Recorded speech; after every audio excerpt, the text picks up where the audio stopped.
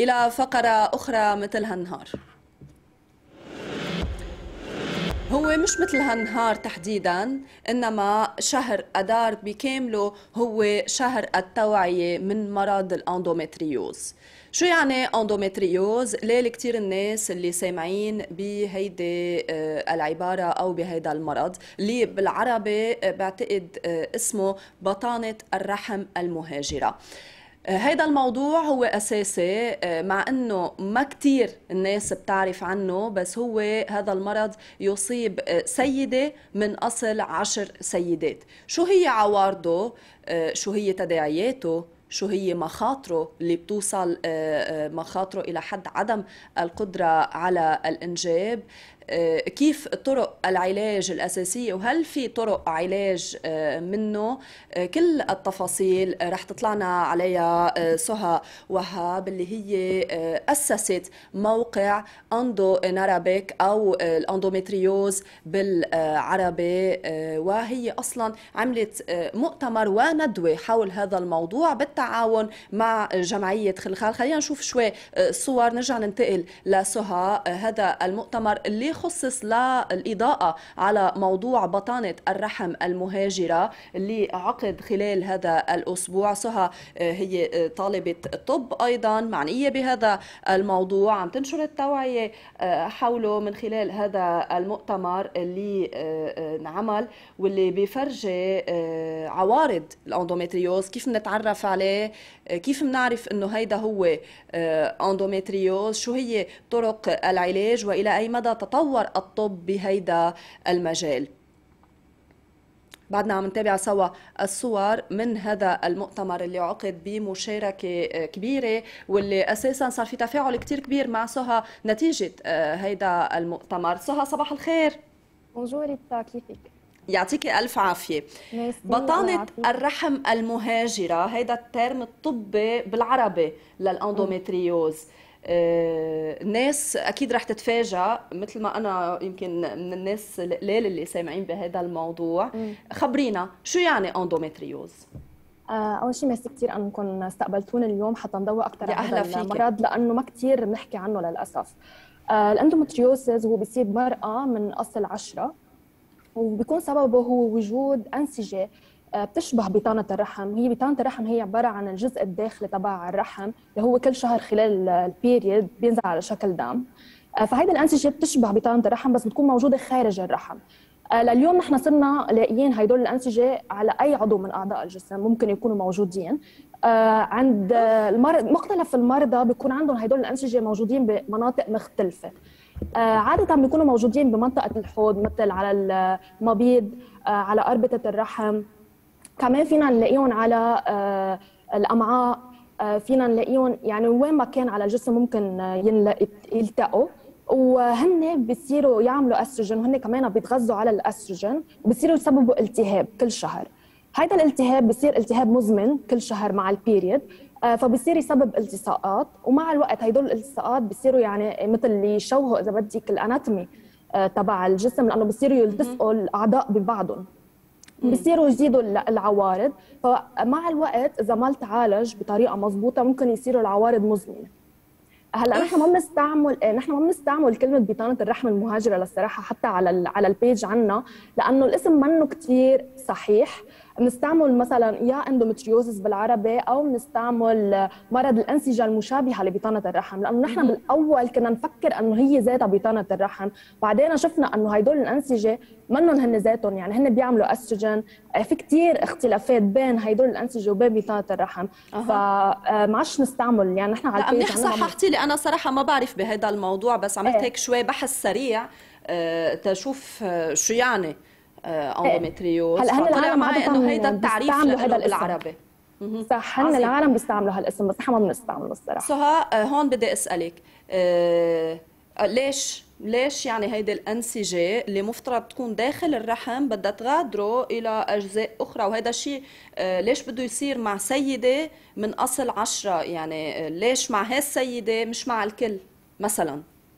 هلا نحن للأسف بالأمراض خصوصا الأمراض النسائية ما في كثير آه، آه، أبحاث okay عن الأمراض النسائية. بعدنا لليوم ما بنعرف شو هو سبب ال endometriosis آه بعدنا مش عارفين. هلأ في نظرية بتقول أنه آه يمكن يكون من وراء أنه خلال ال period آه، الدم بدل ما ينزل آه، لبرا من خلال المهبل بينزل بيروح بال fallopian tubes بينزل آه، بالحوض.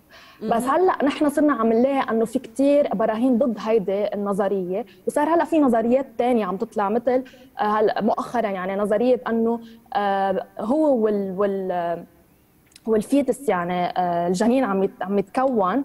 نعم. هدول الخلايا يلي يعني بيستعملوا كرمال يشكلوا آه، الرحم والمبيض وهيك بيروحوا بيروحوا على محلات تانية بهذا الجنين وحسب وين بيروحوا بعدين عند عند السيدة أوكي بنلاقي إنه في عنده عندها هدول الأنسجة بمحلات تانية بجسمها هلأ يعني ممكن يكون شيء خلقي.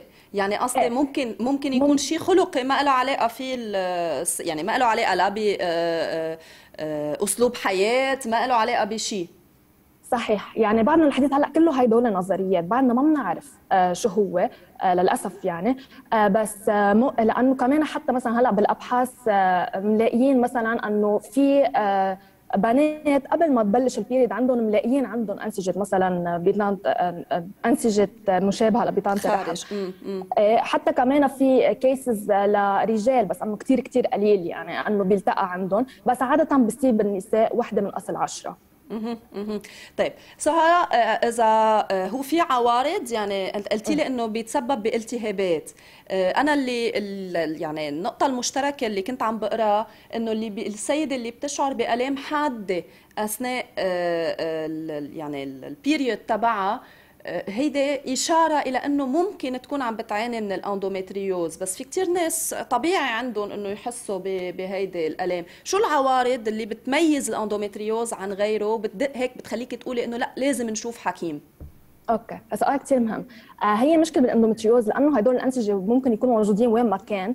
آه فمحل ما بيكونوا الانسجه موجودين بسببوا عوارض. فعلشان هيك تكون شوي صعبة إنه الواحد يشخص ال endometriosis حتى كمان معدل التاخر بالتشخيص هو 8 ل 12 سنة حسب يعني بالدول المختلفه يعني.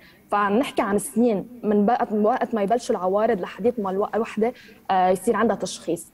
آه، بس عادة آه، يعني العارض اللي هو اون مع كثير مرضى هو الوجع اللي كثير قوي خلال ال period. نحن للأسف كثير بنحس إنه هيدا الشيء طبيعي أو بنقول إنه يمكن البنت عم تتغنج أو عم تدلع بس هو بالحقيقة إنه إذا كان في وجع كثير قوي بالبيريد يعني تاخذ أدوية ما بتقدر تقوم من التخت آه يعني ما بتقدر إنه تعمل أبسط القصص الطبيعية بالحياة يعني إنه تقوم من تخت آه تظهر أو هيك والأدوية ما بتفيد. هذا الشيء منه طبيعي. هلا يمكن ما يكون اندومتريوز بس أكيد هذا الشيء مش طبيعي وهذا الشيء لازم يعني الناس تعرفه إنه إذا كان في وجع كثير قوي بال period يعني هذا دليل إنه في شيء غلط فلازم إنه يشوفوا شو المشكل.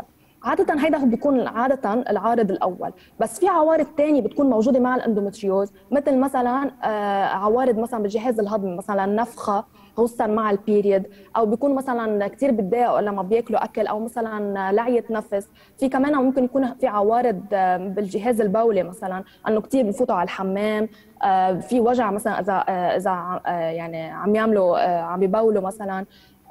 هلأ بالحالات الكثير متقدمة ممكن يصير في مثلا دم بالخروج أو دم بالبول لأنه هدول الأنسجة بتصير قاعدة عم عم عم عم تتقدم okay وعم مثل عم بتفوت بقلب الأنسجة الطبيعية. آه، وعم عم بتسبب مثلا إنه دم يصير آه، موجود بالبول أو أو بالخروج.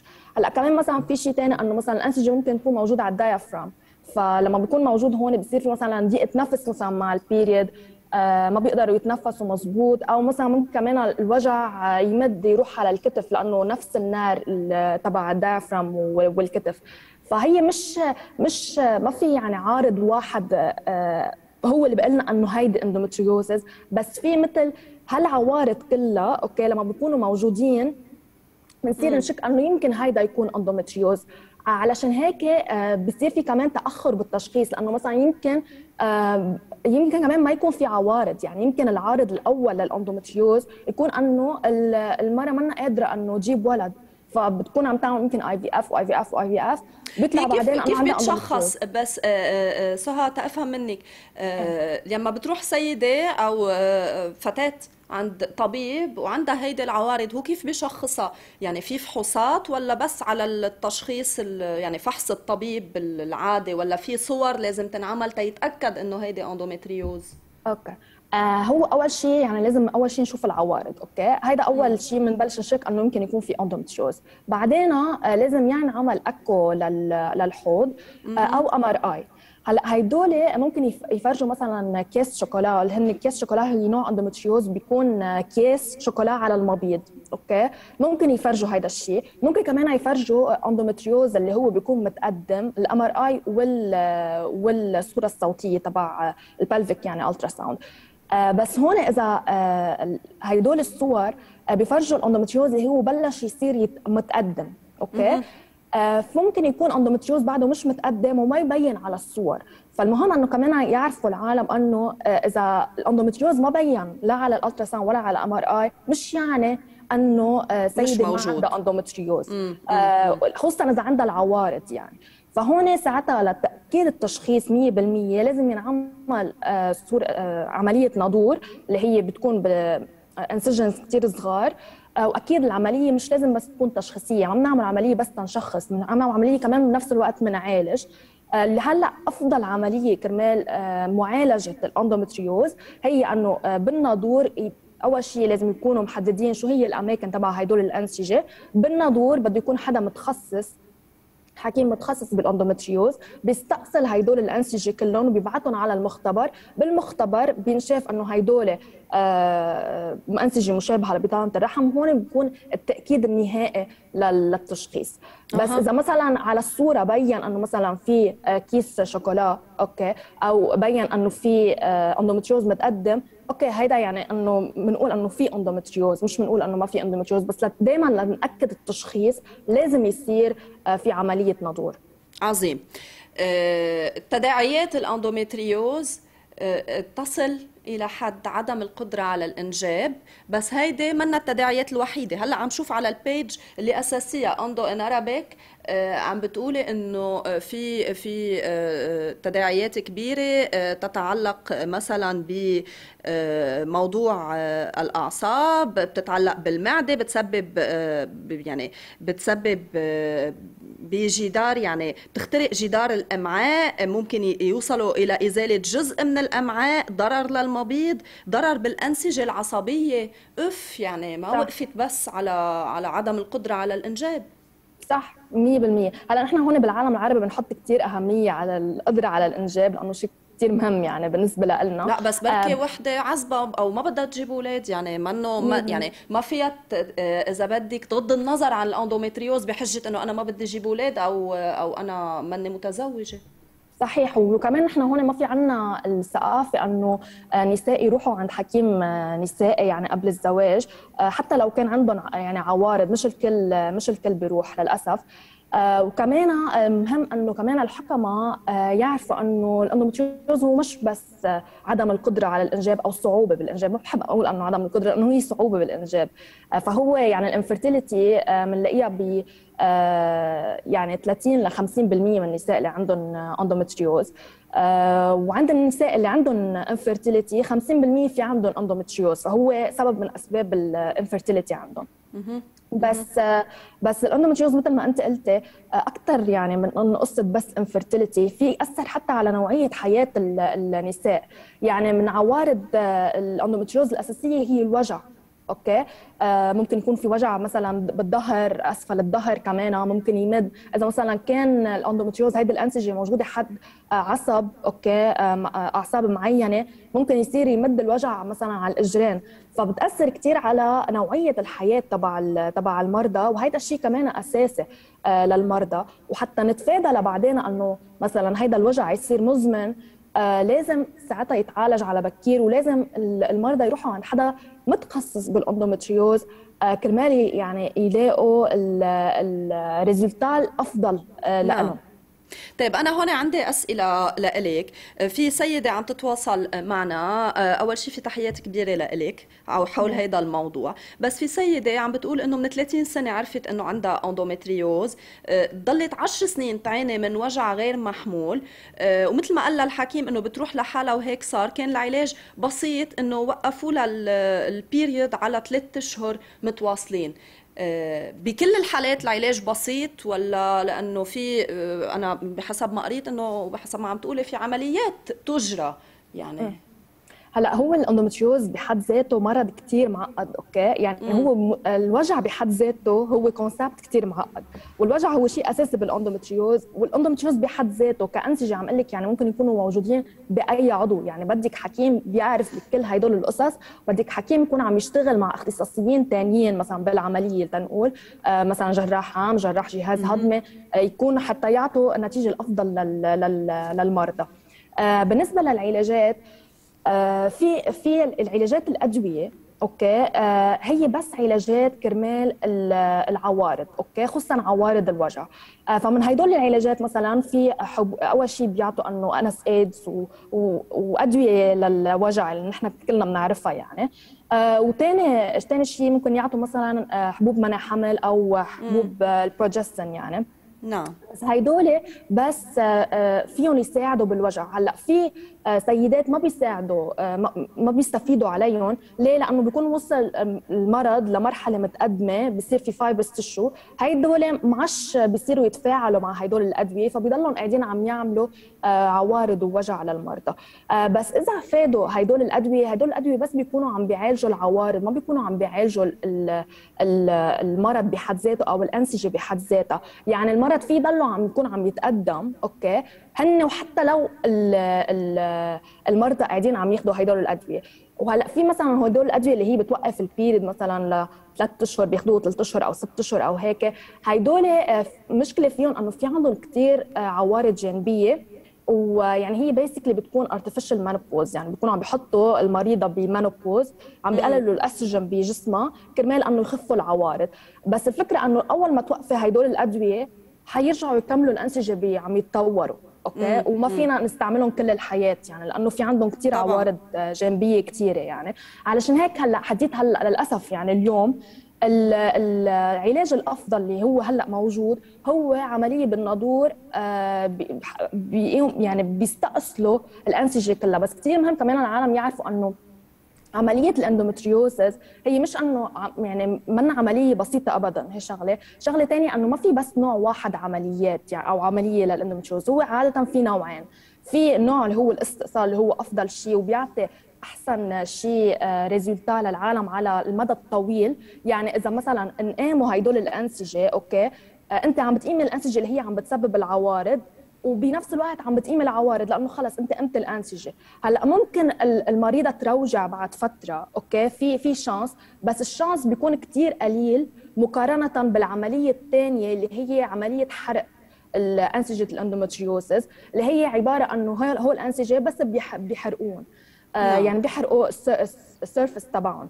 المشكلة إنه بالحرق إنه ما في ما فيك تستعمليه وين ما كان ما فيك تستعمليه حد آه، آه، ال blood vessels ما فيك تستعمليه حد آه، الأعصاب ما فيك تستعمليه وين ما كان للحرق. وكمان إذا كان واصل ال endométriose لمرحله متقدمة يعني صار deep okay بالأنسجة الحرق ما رح يقدر يقيم هدول الأنسجة. علشان هيك اليوم أفضل طريقة كرمال نقيم نستأصل الأنسجة وبالتالي نقيم العوارض هي الأكسجين يعني استئصال الأنسجة آه، واستئصال كل الأنسجة.